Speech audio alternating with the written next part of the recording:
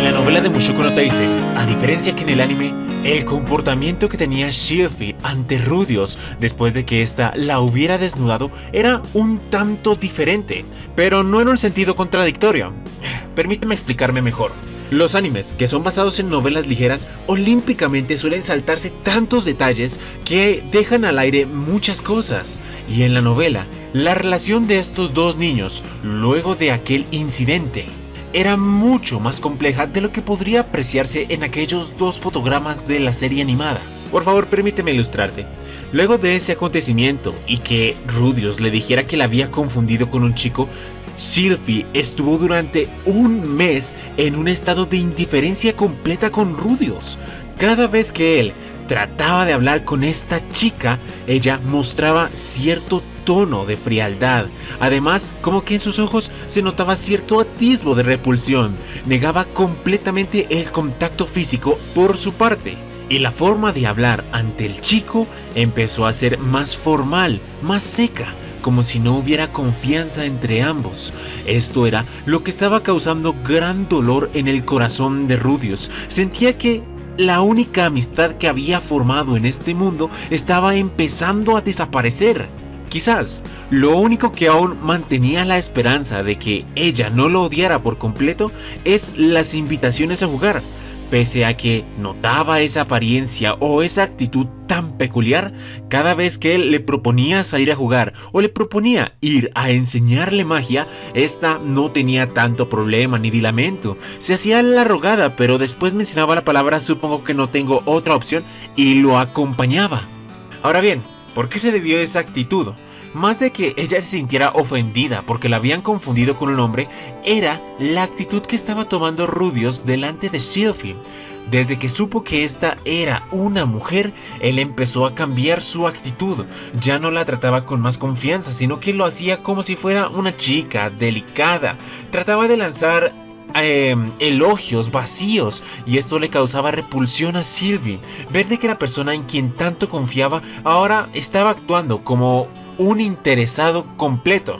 Bueno, el ejemplo no es el mejor explicado, en la novela lo dice, es como si un hombre estuviera viendo a una mujer soltera, bella, joven, y con mucho dinero a su disposición, es decir, halagándola constantemente y abandonando esa antigua personalidad que al principio la había cautivado.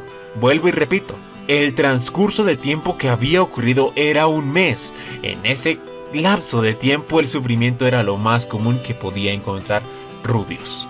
Señores, sean bienvenidos a este emocionante video. El nombre de esta sexy voz le pertenece a el señor Mikael y para esta oportunidad te traigo un contraste entre el anime y la novela de la serie de Mushoku Tensei para que así podamos albergar las principales curiosidades que el anime no contó y que seguramente tú no sabías. Así que sin más dilaciones, empecemos el artículo número uno de esta emocionante Ubuntu. Perdón, es que estoy escuchando la canción de Doctor Stone, la de la segunda temporada de Stone Wars, entonces se me sale ahí la palabra con la rima de la canción. número uno. Déjame hablarte un poco acerca del pasado de Paul, el padre de Rudy. En su juventud, él era un completo levantador de faldas, utilizando el término que se puso en la novela. Un muchacho bastante pervertido que le gustaba molestar a las chicas, tanto de su edad como las mayores. Se le conocía en su pueblo como el muchacho intrépido y con agallas de acero, siempre bastante impertinente y pícaro. Número 2. Paul, por lo general, suele hablar a todos los guardias del pueblo sobre su hijo y tiene una característica en especial. Siempre menciona que, al ser un niño tan perfecto, cada vez que sostiene una conversación con él, siente que pierde confianza como un padre y que cualquier persona que pudiera hablar con este muchacho le ocurriría exactamente lo mismo. Es como si todo lo que hubieran logrado, triunfos, mérito y orgullo como padre, fuera destrozado al ver la calidad de niño que había delante de estos. Y lo peor de todo, este mismo se encargaba de corregirlos para que así ellos fueran mejores. Algo bastante extraño, pues que un crío de 5 años pueda hacer reflexionar a un viejo de 25, 30 o 32 era un asunto completamente de risa. Ah, y se me escapaba. Para este momento, Paul tenía 24 años. Número 3. Para que vean, Rudy es un chico bastante jodido. A su tierna edad de 5 años y desde que pudo empezar a salir al exterior y no tener miedo, empezó a conocer todo el pueblo. Todo sea con el fin de que, si algún día su padre le dice larga de, de aquí o lo eche de casa, este no estuviera perdido y supiera qué hacer y a dónde ir. No solo eso, Mientras caminaba y paseaba, sacó el libro de botánica para así revisar y comprar cada una de las plantas que encontrara en el sector, y así saber cuáles se pueden comer y cuáles no. Todo esto con el fin de que, si algún día, vuelvo y te repito, lo echaran, tampoco se muriera de hambre, pues tendría los conocimientos sobre qué es comestible y qué es venenoso. Número 4. Hablemos un poco acerca de la geografía del mundo. El pueblo se encontraba al lado de un bosque, lugar en donde habitaban las criaturas mágicas, y estas nacían con mayor abundancia en este lugar porque, según la cosmovisión, son en los bosques donde la mayor cantidad de mana es acumulado, y al haber tanta riqueza de esta misma esencia facilita el nacimiento de monstruos. Se tiene como un ritual de la aldea, que una vez al año tanto el padre de Rudy, Paul, como muchos otros guerreros de clase avanzada incursionarían en este lugar para limpiarlo en lo máximo posible, eliminar a cuanta criatura mágica se aparezca en su alrededor para así salvaguardar la seguridad del pueblo, de los niños, de los ancianos y finalmente, pero no más importante, las bellas mujeres. Número 5 esta es relacionada a la primera batalla que Rudy tuvo en su vida. No, es en serio, esos niños que estaban fastidiando a Sylvie fue la primera pelea que él tuvo desde que nació.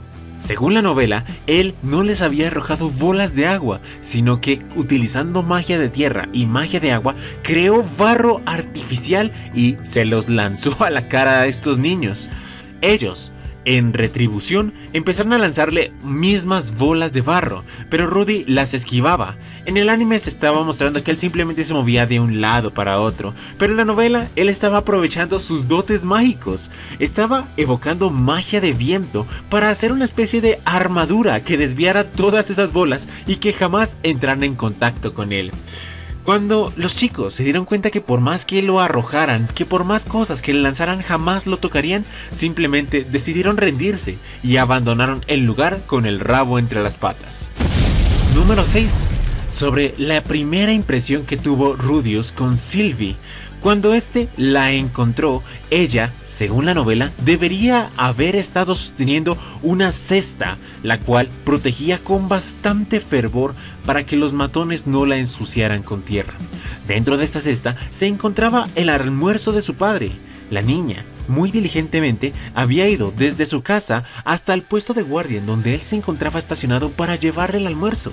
En el camino se encontró con esos niños bravucones que empezaron a fastidiarla, y ella no podía escapar ni evitarlos porque tenía que evitar a toda costa que la comida de su querido padre se estropeara. Por cierto, aquí de una vez te voy acelerando ciertas curiosidades. Sylvie no se corta el cabello y se lo deja corto para que así le sea más fácil ocultarlo y las personas no lo discriminen por eso. Tiene pantalones porque ella, al ser intimidada, tiene que escapar frecuentemente. Entonces una falda sería algo bastante incómodo de usar. Pantalones es lo más normal para poder emprender un sprint sin problemas. Número 7. Déjame explicarte un poco más sobre el oscuro plan que tenía Rudius con Sylvie cuando él la conoció. El anime lo dijo en unas pocas palabras pero no profundizó. Lo que él realmente tenía en su corazón era que cuando los dos crecieran, él se convertiría en su compinche, en su moco, pues este, al verse tan atractivo, las chicas estarían constantemente interesadas en hablar con él, pero según los japoneses, estas, al ser tan tímidas, inmediatamente se irían al chico de al lado, el más normal, para que sirviera como puente para llegar finalmente hacia el sujeto. Esto era una posición bastante beneficiosa para Rudios, pues él pensaba que al convertirse en su guardián, tendría que probar absolutamente todas las que en algún momento quisieran acercarse a su amigo. Además, él lo reconoció, su rostro no estaba tan mal, su padre era relativamente apuesto, su madre era hermosa, entonces su rostro al crecer seguramente también sería bello. Número 8. Hablemos acerca de una diferencia cronológica. Rudios primero hablaría con los padres de Sylvie antes de llevarla al gran árbol para enseñarle magia. Cuando ella llegó a entregarle el almuerzo a su padre, este reconoció inmediatamente al niño, pues al trabajar en la seguridad del pueblo estaba íntimamente ligado por relaciones profesionales con Paul. Él solía frecuentemente ¿Cuál sería la palabra correcta para utilizar? Alardear de él, decir que su hijo era perfecto y mencionar que cada vez que sostenía una conversación perdía confianza como padre. Él padre de Sylvie empezó a sostener una conversación con él y se dio cuenta que era increíblemente listo. Incluso le pidió permiso para poder salir con su hija barra hijo, porque en ese momento no lo sabía, a jugar. Por supuesto, él dijo que llegarían antes del atardecer, no se meterían al bosque y sí, en caso de que ellos no llegaran para cuando el sol caiga, seguramente estaban en problemas y le pediría amablemente a su padre que los buscara de inmediato. Después de escuchar eso se quedó impresionado, pues esas eran las palabras que debió haber dicho el adulto y no el niño. De ahí en adelante ya empieza a transcurrir la escena que vimos en el anime de Rudios llevando a Sylvie al árbol de la colina, donde se encontrarían todos los meses, todos los días de aquí en adelante y en donde fomentarían y fortalecerían su amistad. Número 9. Cuando Paul abofeteó a su hijo, solamente quería darle un leve escarmiento, pero debido a que el muchacho estaba respondiendo con argumentos lógicos, se enfureció y no pudo evitar golpearlo. Realmente, lo que él quería enseñarle era de que no debía utilizar la fuerza con los débiles, tenía que siempre mantenerse sereno, Puede que para esta oportunidad simplemente haya sido una leve pelea de golpes y posiblemente hubiera ocurrido porque Rudius se le haya subido el ego, el ego a la cabeza, pensando que él era mejor o algo por el estilo, pero después de darle la bofetada en la cara se dio cuenta que lo que estaba a punto de predicar era exactamente lo que había obviado, no usar la fuerza ante el más débil, e inmediatamente tu padre te da una cachetada, a ti, el niño, el que es el débil, él ya no tenía cara para regañarlo, entonces entró en una serie de discusión. Tenía que disculparse, pero como está en el deber de educar, de educar, no podía hacerlo. Entró en conflicto. Ahí fue cuando Rudius empezó a darle la lata de que si los Greyman son de los que intimidan a las personas y utilizan la fuerza para aplacar al débil, no querría seguir en esa familia. Al escuchar esas palabras, él quería decirle lárgate, pero tuvo que contenerse. Primero, porque era un niño de 5 años. Y segundo, porque eso fue lo que le dijo su padre. Y con esas mismas palabras, él mismo se fue de su hogar. Se enteró varios años después que él se había enfermado y murió poco tiempo después. Ese arrepentimiento le quedó de por vida. Y es por eso que se guardó esas palabras dentro de sí. Y por cierto, ese día él sintió el verdadero, bueno, deja de decir tanto el verdadero terror. Él sintió curiosidad y miedo, pues por primera vez conoció la ira seca y fría de su hijo. Ya no era una máquina perfecta, sino que entendió perfectamente, no era máquina perfecta, sino que entendió perfectamente. No era una máquina perfecta, sino que comprendió a la plenitud de que Rudius era un humano. Por cierto, cuando este chico empezó a dar la lata de que la próxima vez de que vea a tres niños intimidando a un pobre se les uniría y que después dejaría de lado el apellido de Rat porque obviamente era algo despreciable, el padre Paul empezó a recordar fragmentos de su infancia y dedujo que también tuvo momentos igual en los que él sabía a plenitud que tenía la razón, pero su padre jamás le dio la oportunidad de explicarse. Viendo que su hijo en ese momento sí tuvo las palabras para hacerlo entender de que había una razón de por medio, él reflexionó y se disculpó. Número 9. Rudius tenía una meta que él quería cumplir como de lugar. Y es que, antes de que Paul entrara a una edad en la que efectivamente dejara de estar en la flor de su juventud, debería derrotarlo así sea en una oportunidad en un combate de espadas. El motivo era el siguiente, había dos formas de superar a su padre. La primera era entrenar diligentemente su cuerpo hasta que finalmente alcanzara su plenitud máxima y eventualmente lo venciera, pero esa falla le parecía bastante sucia porque en 5 años Rudius tendría 10 y Paul 30. En que serían 20 años ya serían 20 contra 40. Ahí él ya no se encontraría en su plena juventud. Entonces, en su derrota seguramente iría si tan solo fuera unos cuantos años más joven. Para evitar esto, se aseguró de ponerse una meta. En los próximos 5 años vencería a su padre como de lugar y para ello utilizaría varias técnicas de combate. De entre esos, la especial técnica Espada del Norte, o perdón, era Dios del Norte, era así en la que consistía en jugar de ser necesario sucio para vencer a su oponente. Trataba de combinar el esgrima con la magia, generar lodo en el suelo para inmovilizar o entorpecer los pasos de su oponente, utilizar magia de viento para incrementar el daño de su espada o su velocidad, ese tipo de cosas. Quería utilizar todo a su disposición para derrotar a su padre antes de que él envejeciera y así él poder levantar el pecho y decir te he superado. Número 11. Esto hace más referencia al momento en el que Sylvie vio como Rudius estaba encantando dos hechizos a la vez. Ella tenía una pregunta, ¿cómo puedo hacer esa agua caliente que alguna vez me mostraste? Él le dijo que primero tenía que utilizar magia de agua y después calentarla con magia de fuego. Ella quedó por un momento extrañada y le preguntó cómo puedes invocar dos hechizos al mismo tiempo. Él le mostró simplemente levantando la mano y haciéndolo. Esto la sorprendió. Ella pensaba que tendría que combinar los encantamientos, decir una oración diferente o alterar los versos, pero al ver de que él lo podía hacer sin siquiera pronunciar una palabra, la sorprendió y le dijo, ¿puedes enseñarme a hacer eso? Ahí Rudius entendió que no era muy diferente a su padre.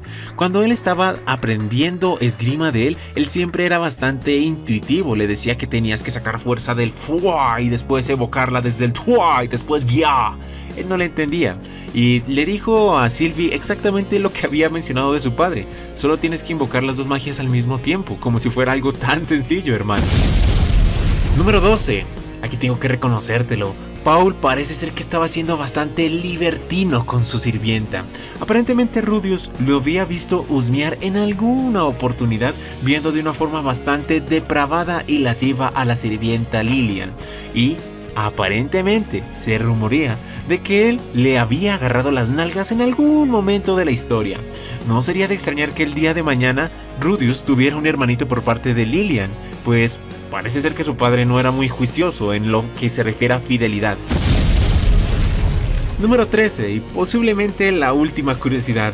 Cuando Paul encontró a su hijo con las manos en la masa, estaba sorprendido, pues él lo único que vio fue a él mismo, es decir, a su versión como niña, en carne y hueso. Cuando él era un infante era muy parecido a lo que estaba viendo. Un chico que levantaba las faldas de las niñas y se aseguraba de terminar las situaciones más extrañas posibles.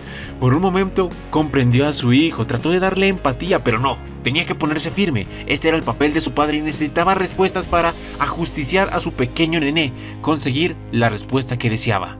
Finalmente se dio cuenta de que Rudy, la persona a quien pensaba que jamás iba a disculpar, estaba diciendo lo siento. Es como si que lo que hubiera visto de verdad lo hubiera afectado. En ese momento Paul se dio cuenta. Encontré la debilidad de mi hijo perfecto. bueno mis queridos héroes, eso sería todo. Si te gustó el video por favor dale like, me gusta, comparte. Una forma de agradecerme por mi trabajo es siguiéndome en Instagram.